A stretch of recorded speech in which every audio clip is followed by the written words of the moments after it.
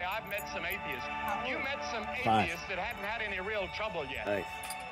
But you find Wild a person man. who claims he's an atheist and let someone announce to him that he has terminal, and you'll say, My God, help me. or you get into a battle Yo, who's that?